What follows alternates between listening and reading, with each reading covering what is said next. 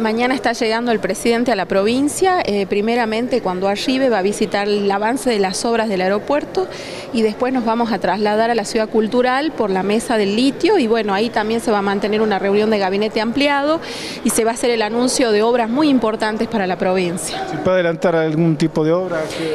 Y la verdad que están chequeando a ver este, los anuncios que los quiere hacer el gobernador, por supuesto, no acompañado del primer mandatario nacional. Nosotros como miembros del Poder Legislativo vamos a estar acompañando y respaldando todo el apoyo que se le está dando a la provincia de Jujuy. ¿Ha modificado la agenda en la Ruta 2 que iba a estar presente? Eh, seguramente, eh, según nos informaron últimamente, que eh, tenía pensado visitar la Ruta 2, los avances de las obras, pero por cuestiones de agenda hasta ahora no está confirmada la, la visita. En la ciudad cultural a las 11, y, 11, 11 y media de la mañana va a estar. A esa hora estamos nosotros convocados para acompañarlo. ¿Está confirmado si viene acompañado por ministros? ¿Qué ministros lo van a acompañar?